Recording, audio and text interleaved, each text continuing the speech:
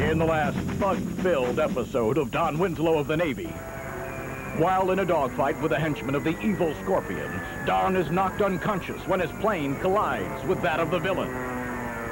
Will someone pull up on the stick, or is Don asleep at the wheel for good?